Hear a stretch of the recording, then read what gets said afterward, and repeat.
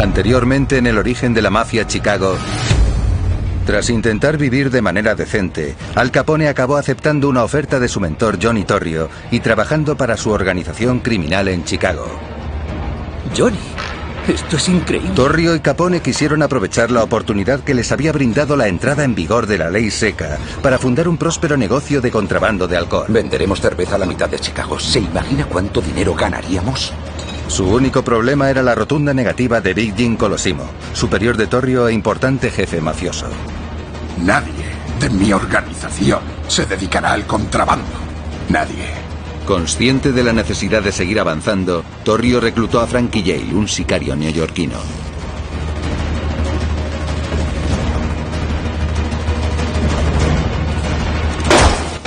Con Colosimo fuera de juego, Torrio y Capone se habían convertido en los capos de la mafia italiana más importantes de Chicago. Pero al otro lado de la ciudad, una nueva amenaza se cernía sobre ellos.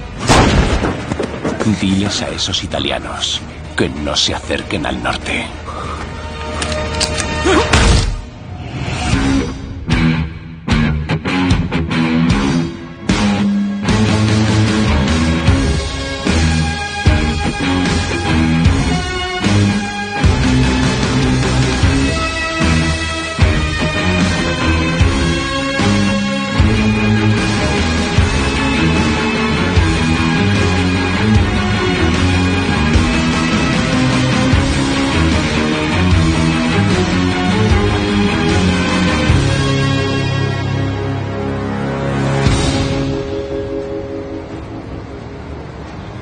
¿Ves eso? Si conseguimos producir el doble, doblaremos los beneficios. Tenemos 500. En menos de dos años, Al Capone había pasado de ser un humilde contable a ser el segundo al mando del imperio criminal de Johnny Torrio. Para un hombre como Capone, Chicago ofrecía todo un mundo de oportunidades para hacer fortuna y abrir bordeles y locales de juego. Era la ruta clandestina hacia el sueño americano. En 1920, Torrio y Capone ya habían expandido su organización al sur de Chicago y eran dueños de un imperio que hoy en día valdría unos 35 millones de dólares. Por entonces, Al ganaba una fortuna, mientras que la gente de a pie trabajaba por unos 10 pavos a la semana, y cada vez ganaba más. Qué bonita mesa, Meira. Qué buena pinta. Venga, sentaos todos a la mesa. Me muero de hambre. Eh, déjalo aquí. Sí. Mm, Qué buena pinta. ¡Qué maravilla! Salud. Salud. Capone se compró una casa en Chicago y toda su familia se trasladó desde Nueva York para vivir con él, incluidos sus hermanos Frank y Ralph. La motivación de Capone en su escalada hacia la cima era mantener a su familia. Esa es la misma motivación que tendría cualquiera que trabajase y quisiera a su familia. Pero el éxito de Capone pronto se vería amenazado. A medida que el imperio de Torrio y Capone se expandía, comenzaba a adentrarse en el norte de Chicago, una zona dominada por la segunda mayor banda de la ciudad, los irlandeses.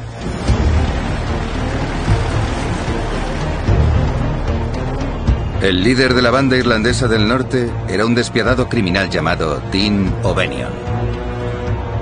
Dean O'Benion había crecido en un barrio muy duro conocido como Little Hell. Una de las características de los irlandeses era que se abrían paso en el mundo del AMPA en función de su capacidad para usar la fuerza bruta. O'Benion había demostrado ser capaz de hacerlo muchas veces, metiéndose en peleas tanto en bares como en plena calle. Además de estar al mando de la mafia irlandesa, O'Benion regentaba un negocio legítimo, la floristería más importante de la ciudad. Lee, espera, no, no, no, esas no. Demasiado marchitas. Sí. Le encantaban las flores. Abrió una floristería que se convirtió en una de las más populares de Chicago, porque él era muy buen florista.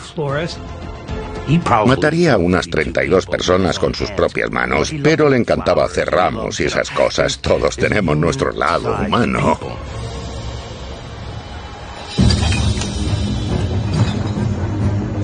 Cuando la ley Volstead entró en vigor, O'Benion se abrió paso a la fuerza en el floreciente negocio del contrabando.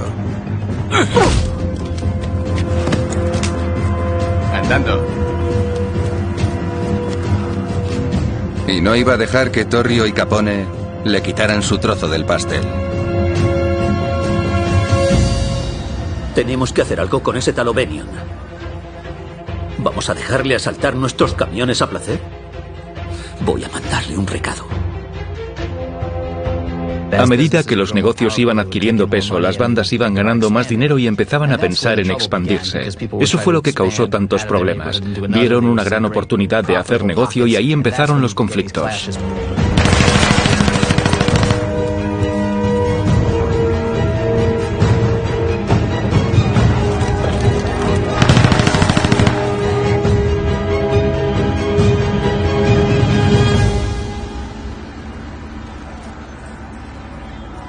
Pero dime cuál es. Según pasaban las semanas, Este Ovenion afianzaba su posición en el norte de Chicago ante un posible enfrentamiento con los italianos.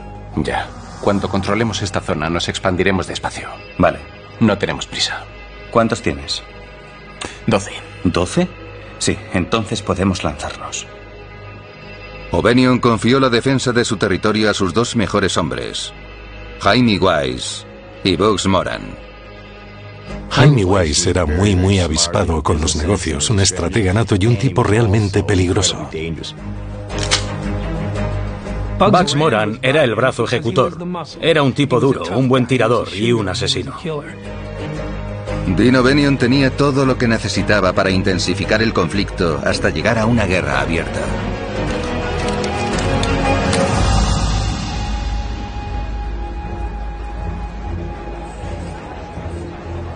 Cuando la violencia comenzó a pasar factura a su negocio, Torrio decidió dar un golpe de timón.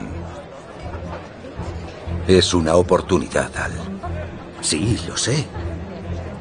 No te preocupes por los irlandeses. Si lo hacemos bien, ganaremos una fortuna.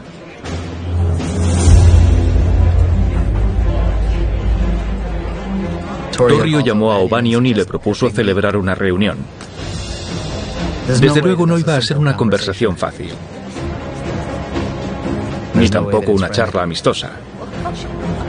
Pero Torrio creía que valía la pena intentarlo, porque si dejaban de matarse mutuamente tendrían toda la ciudad a sus pies.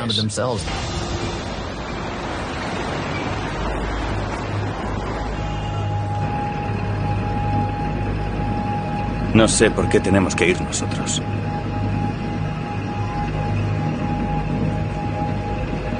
Ovenion no estaba precisamente entusiasmado con la idea de reunirse con Torrio y con Capone.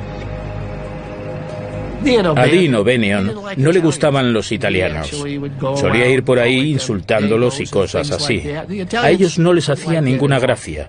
Por eso había enfrentamientos constantemente.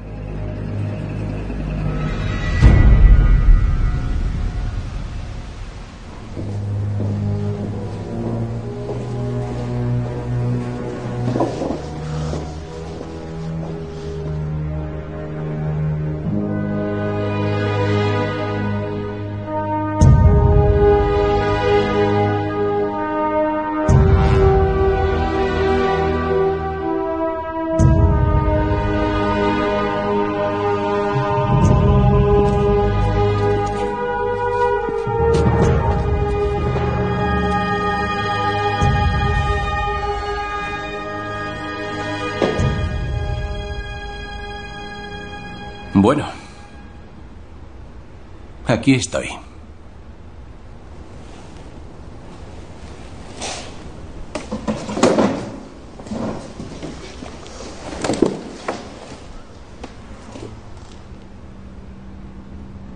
Toda esta violencia, los robos, los asesinatos, ¿de qué sirve?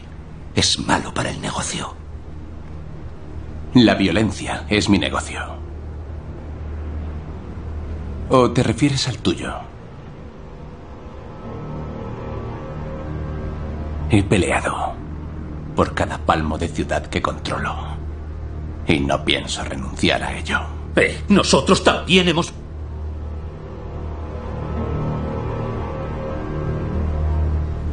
Mira, esta nueva ley es una oportunidad única. Mientras siga en vigor, quiero sacar tajada. ¿Qué piensas hacer tú, Ovenion? ¿Vas a decirme cómo llevar mi negocio? ¿Quieres ser hombre rico o muerto? ¿Es una amenaza? No es una amenaza, es una propuesta. ¿Qué propones? Yo me quedo con parte de tu negocio y tú con parte del mío. Tú vendes tu whisky en nuestro territorio y yo vendo mi cerveza en el tuyo. ¿Por qué crees que aceptaría algo así? Debemos ser listos. Tirotear mis camiones. Robarnos el alcohol mutuamente. Matar a los hombres del otro. No es inteligente. ¿Me entiendes? Esto es una oportunidad. ¿Quieres seguir luchando o quieres hacerte rico? Vale, Torrio. Vemos.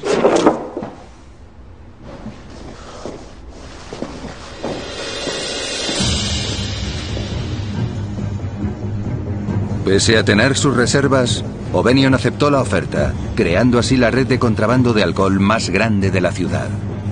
Sin embargo, aquella incómoda alianza solo sería el primer paso del plan de Johnny Torrio para conquistar todo Chicago.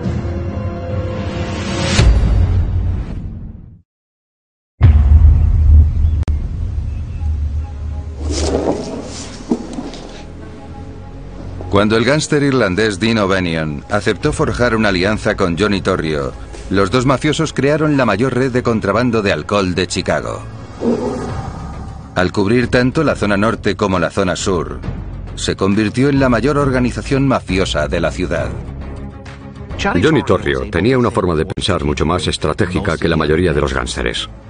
Tuvo la brillante idea de intentar formar alianzas con mafiosos de otras procedencias. Así creó una coalición. Creo que esto pinta bien. Sí.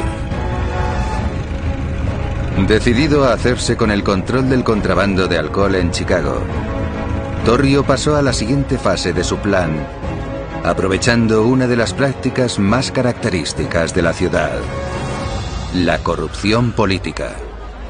Dame una razón para ayudarte. Haré una donación para tu campaña electoral. Y yo te estaré muy agradecido, Johnny. Salute. Torrio compró a la mayor autoridad de todo Chicago, el alcalde Big Bill Thompson. Chicago era, sin duda, una de las ciudades más corruptas de Estados Unidos, por no decir la más corrupta. Todos los policías y cargos electos estaban en nómina. Las bandas como las de Torrio y O'Benion gastaban casi el 10% de sus ingresos en sobornos. Algunos policías ganaban al año más en sobornos que en sueldos. Está muy bien. Los chicos dicen que esto es solo de por la mañana. Increíble. ¿De hoy? ¿eh? Sí, mira esto. Toma, cógelo. Serás granuja. Con la policía y los políticos en el bolsillo, la organización creada por los italianos y los irlandeses campaba a sus anchas por toda la ciudad.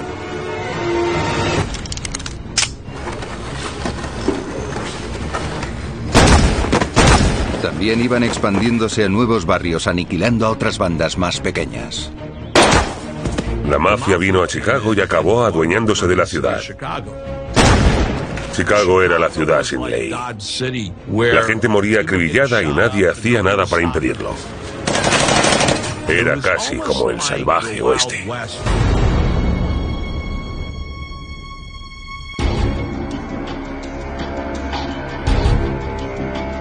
Hubo tal número de muertos que los ciudadanos de Chicago decidieron dar un paso al frente.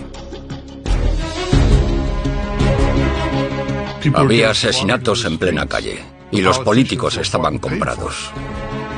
¿Para quién trabajaba la policía? ¿Para la mafia o para la gente? Todos los estamentos de la comunidad estaban corruptos.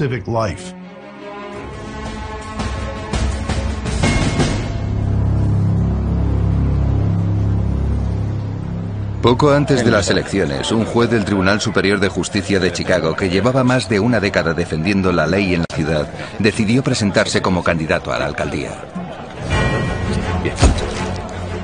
Esta guerra de guerrillas entre contrabandistas, asaltantes y vendedores ilegales de cerveza se va a acabar.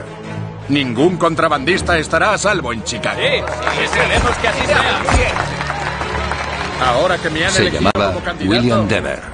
Limpiaré estas William Dever iba a limpiar las calles. Iba a consagrar gran parte de su mandato a hacer cumplir la ley seca y asegurarse de que los tribunales y la policía hicieran bien su trabajo. Yo creo en Chicago. Muy bien. Sí, sí, sí. Su promesa de poner fin a la violencia y la corrupción acabó abriéndole las puertas de la alcaldía.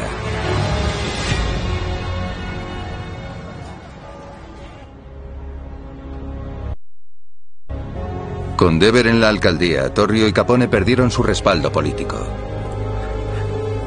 Sabían que el nuevo alcalde no aceptaría un soborno. Por eso decidieron probar con otro alto cargo de la ciudad, Morgan Collins, el jefe de policía. Le enviaron un soborno de 100.000 dólares, que en la actualidad equivaldría a más de un millón.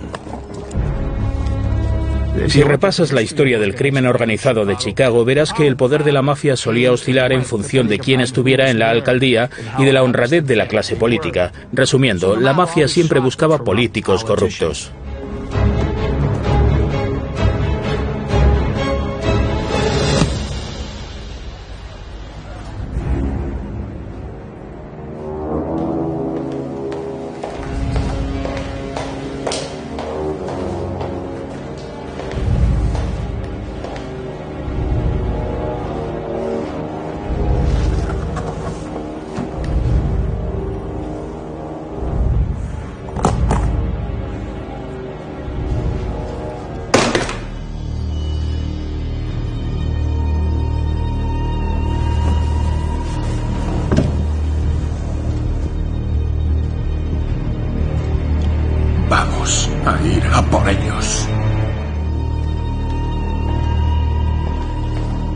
Al intentar corromper a la administración de Dever, Torrio y Capone se convirtieron en los principales objetivos del nuevo alcalde de Chicago.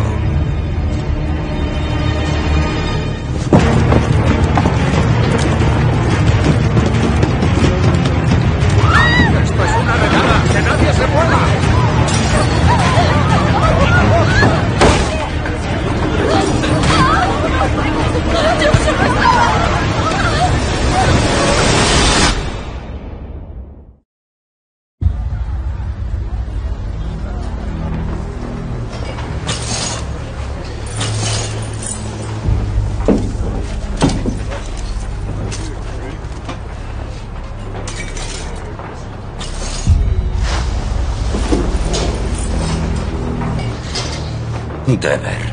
Será hijo de puta.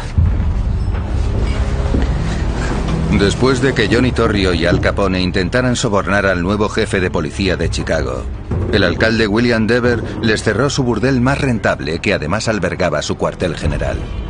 Mira, se habrán llevado unas 100 botellas.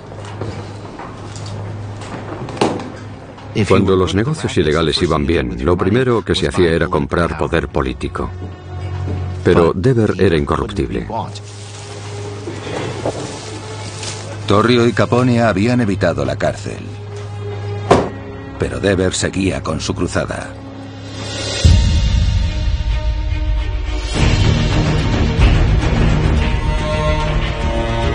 El nuevo alcalde se dedicó a combatir todas las actividades ilegales que se llevaban a cabo en la zona de Chicago, incluidos el contrabando y el juego, y también a cerrar fábricas de cerveza y destilerías, con el objetivo de atrapar a Torrio y Capone.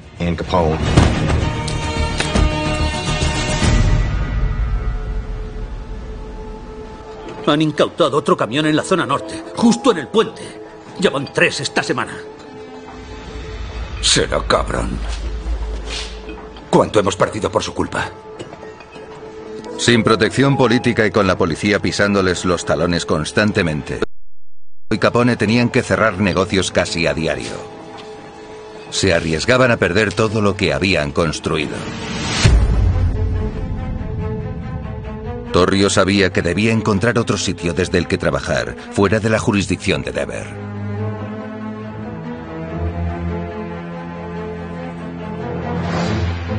Encontró la solución en una pequeña ciudad situada justo a las afueras de la ciudad de Chicago. Cicero, Illinois. A tan solo 16 kilómetros del centro de Chicago, Cicero era una tranquila localidad de 40.000 habitantes. Cícero era una ciudad étnicamente homogénea, donde la mayoría de vecinos venía del este de Europa y era de clase trabajadora. Era un buen lugar para vivir. Para Torrio, era el sitio perfecto donde establecer su nuevo cuartel general. Cícero era un lugar mucho más pequeño y fácil de controlar. Pensaron que si habían podido comprar a la policía y a los jueces en Chicago, sería mucho más sencillo y barato hacerlo en la pequeña y corrupta ciudad de Cícero. En 1923, Torrio y Capone trasladaron sus negocios a Cícero.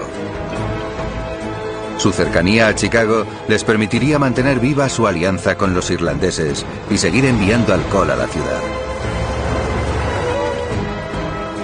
También abrieron nuevos burdeles y locales de juego para reemplazar los que había cerrado Dever.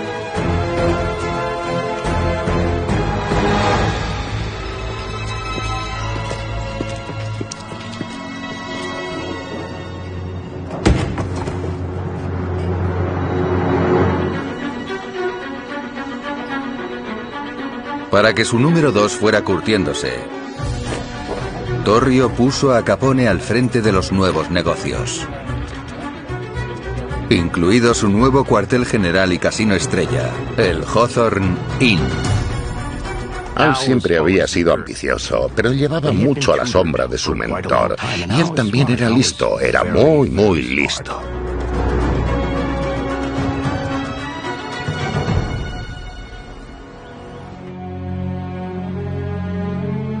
Unas semanas después de que Capone empezara a hacerse cargo de los negocios. Torrio recibió el aviso de que su madre estaba enferma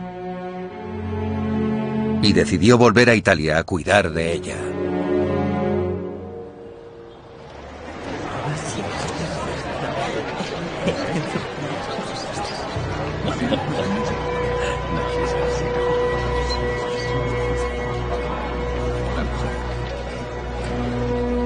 Familia.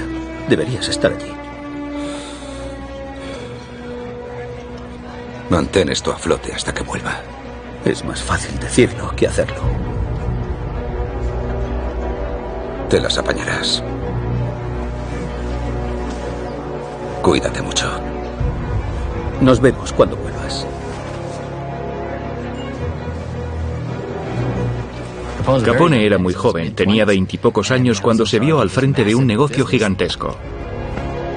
No tuvo tiempo de plantearse si estaba preparado, ni de pensar cómo dirigiría el negocio. Con tan solo 24 años, Al Capone estaba al mando de un imperio criminal casi en ruinas. Tenía que averiguar cómo reconstruirlo, él solo.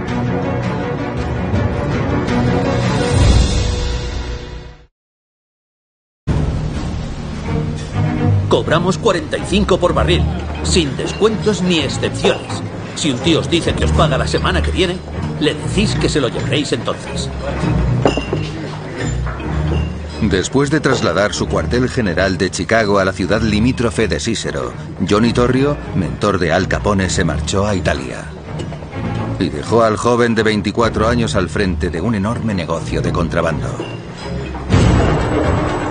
Si vas a suministrar alcohol a toda la ciudad de Chicago, necesitarás miles de empleados. Tenían que pagar a los camioneros y a los vendedores. Tenía que ser un negocio grande y bien organizado. Id llevándoos estos. Eh, tiene que salir en una hora.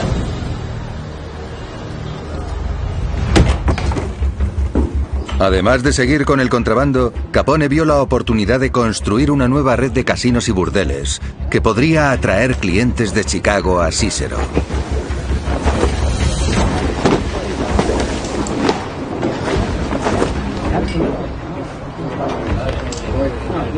Para lograrlo, pidió ayuda a dos personas en las que sabía que podía confiar, sus hermanos Frank y Ralph. ¿Qué os parece? Muy bonito. Buen trabajo, Al. Era un negocio muy difícil de gestionar con tantos elementos distintos y tantas personas diferentes que se te acercaban para pedirte algo. Seguramente le agradaba saber que había al menos dos personas cuya lealtad era incuestionable.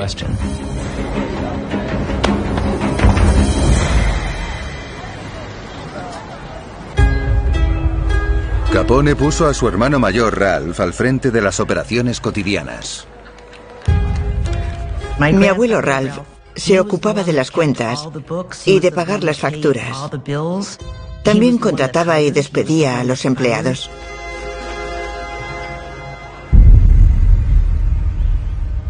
De su experiencia con Torrio, Capone había aprendido que para que los negocios funcionaran necesitaba comprar la protección del gobierno local. Así que mandó a su hermano Frank a sobornar a los políticos de Cícero. Esperaba que usted y sus colegas del ayuntamiento nos ayudaran. Frank, el hermano de Capone, era un gángster llamativo, al estilo de Hollywood. Era joven, delgado y apuesto. Actuaba de enlace con los políticos y tenía don de gentes. Salud.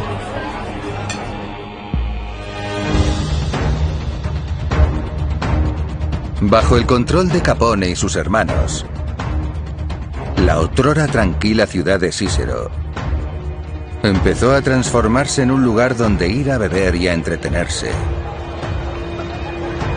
al margen de las leyes de Chicago. ¿Alguna apuesta más? Vale, no va más. No va más. Mi tío Al hizo lo que hizo para cuidar de su familia. Era una familia muy unida y por eso sobrevivieron, porque todos se respetaban y se querían mucho. No. Eh, ¿Te acuerdas de aquella vez que no encontrábamos a Ralph? Mamá lo buscaba por todas Es imposible perderlo.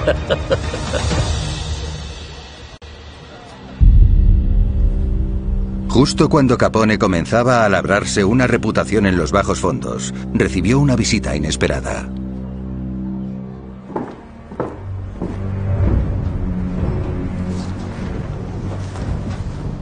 Tienes esto muy bien montado. ¿Qué quieres? ¿Dónde está Torrio? Necesito hablar con él. Puedes hablar conmigo. Vale.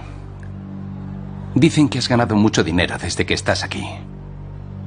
Pero curiosamente, yo no he visto un centavo. ¿Por qué ibas a verlo? ¿Qué acabas de decir? Quedamos en darte una parte de los beneficios de Chicago. Cícero no está en Chicago. Me importa una mierda donde esté Cícero. El único motivo por el que dejo pasar vuestros camiones es porque saco tajada. En, en Cícero, donde sea. Si queréis que los camiones pasen por la zona norte, es el precio del peaje. Para a uno de mis camiones. A ver qué pasa.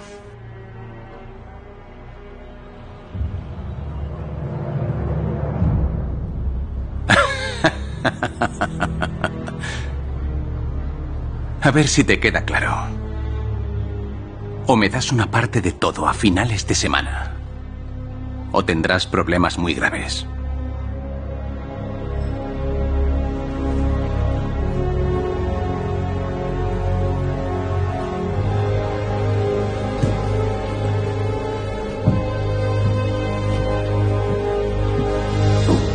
Controla tu genio. No pierdas los nervios. No te pegues con los demás ni los mates. Reflexiona. Piensa bien las cosas. No seas impulsivo.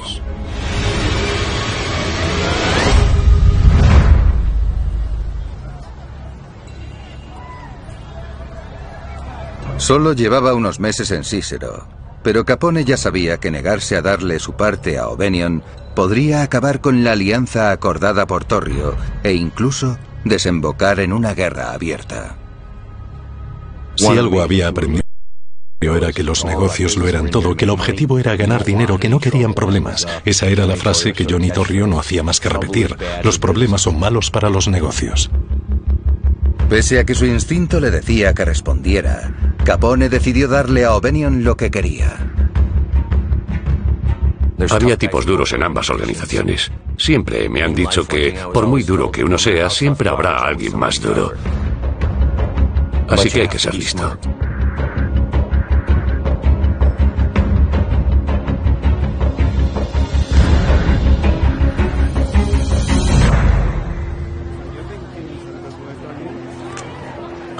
Tras apaciguar a O'Benion, Capone tendría que enfrentarse a un problema todavía mayor.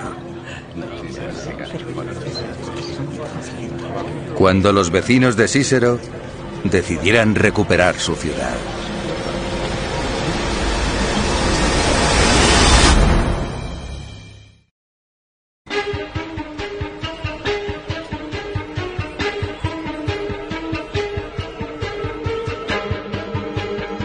En cuestión de meses, Capone había transformado la tranquila localidad de Cícero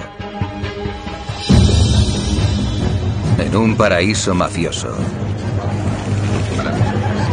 lleno de salones de juego, prostíbulos y gánsteres despiadados.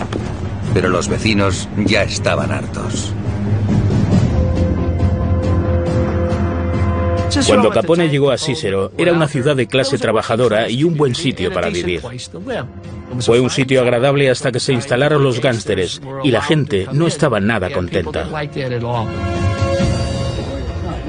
Con las elecciones a la vuelta de la esquina, Capone se dio cuenta de que los políticos a los que había comprado podían perder. Sabía que no podía dejar que lo que había pasado en Chicago se repitiera en Cícero. Estas elecciones son un verdadero problema. Los periódicos siempre exageran. Necesito que hagas lo posible porque nuestros amigos sigan en el poder. No quiero correr ningún riesgo. ¿Me entiendes? Sí, lo entiendo. Confío en ti, Frank. Sé que no me decepcionarás.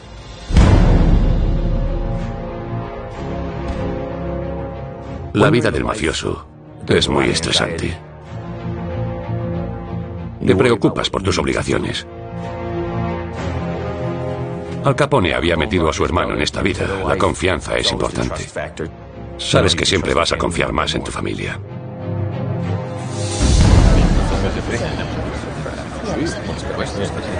Buenos días.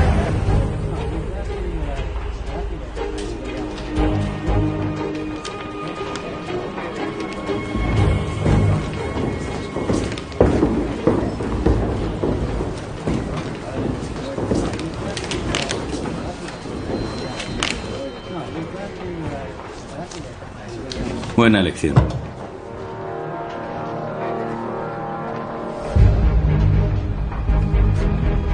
Los Capone controlaron las elecciones de Cícero colocándose junto a las urnas con las pistolas asomándoles de los bolsillos para que la gente recordara que era el día de las elecciones y que estaban allí para que votasen a quienes ellos querían.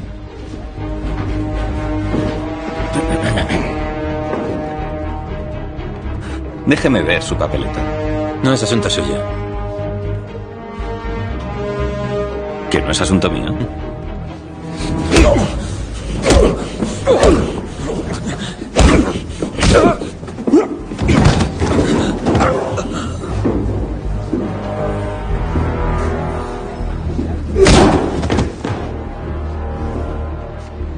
¿Alguien más tiene algún problema? Siguiendo las órdenes de su hermano, Frank Capone usó todos los medios a su alcance para amañar las elecciones. Desde abrir las urnas hasta secuestrar a los funcionarios electorales ¡Vamos, chicos! o incluso tirotear los centros electorales. La organización de Capone controló o influyó en las elecciones de Cícero por medio de la violencia. Pronto todo el mundo supo que, por su propio bien, debía votar al partido que apoyaba a la mafia. ¿Qué persona normal estaría dispuesta a matar a otra por dinero? La mafia está basada en la muerte. No piensan más que en el dinero y en la muerte. Consiguen que la gente haga lo que quieren, amenazándoles con hacerles daño o con matarles.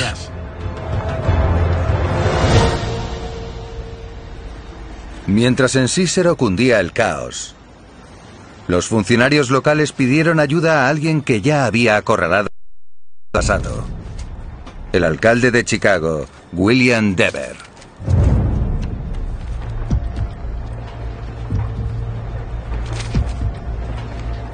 El único problema era que el ejército de policías de Dever en Chicago no tenía autoridad en Cícero.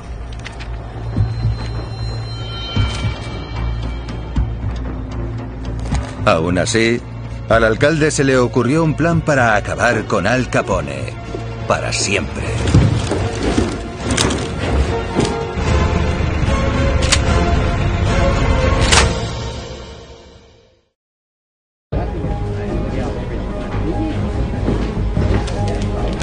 Para amañar las elecciones de Cícero a favor de su hermano, Frank Capone recurrió a la violencia.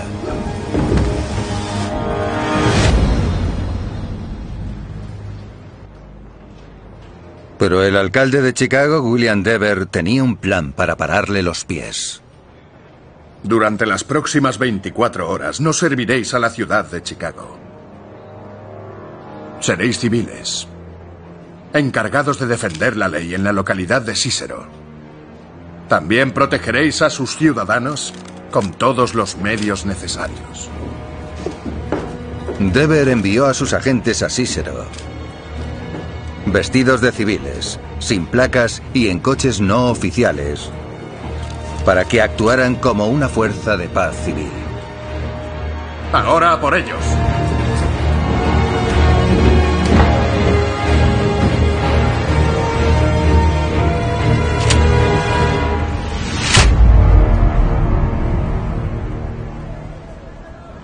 A mi hermano no le gustó cómo salió todo. Es muy importante que se lo digáis. ¿Entendido?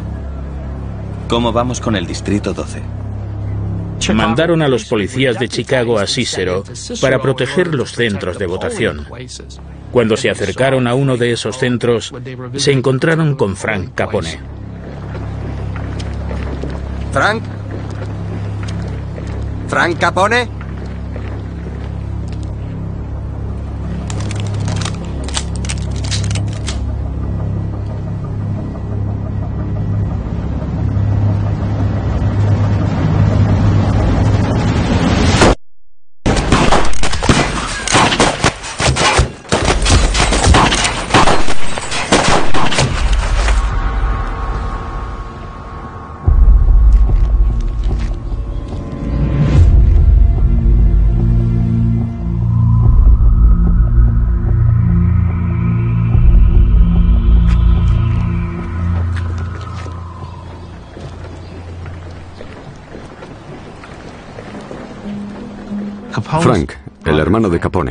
Se vio envuelto sin motivo aparente en un tiroteo con la policía.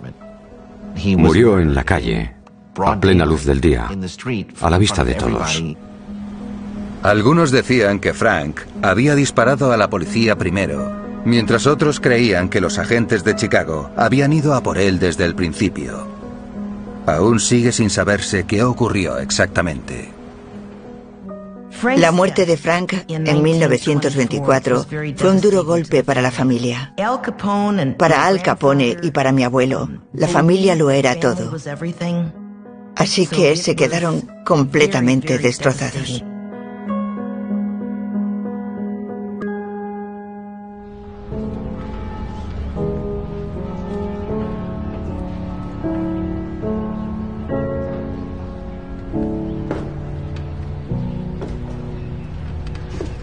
Los políticos corruptos de Al Capone ganaron las elecciones por amplia mayoría.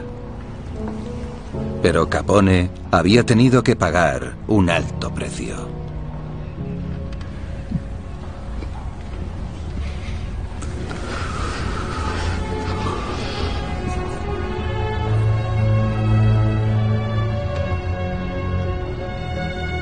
Al Capone nunca habló de la muerte de su hermano ni de cómo le afectó. Aquel fue el comienzo de una etapa más oscura en su vida en la que la violencia cobraría mayor protagonismo. Vería cómo mataban a sus hombres. Tendría que matar cada vez más a menudo para aferrarse al poder.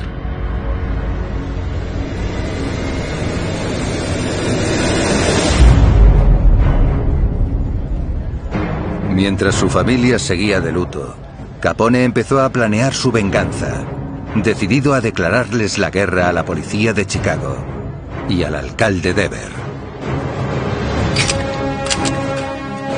Hay veces en la vida en las que estás tan furioso que harías cualquier barbaridad. La gente normal se contiene. Pero si no tienes ningún límite, cuentas con una organización de mil personas y alguien te molesta, puedes hacer lo que te plazca.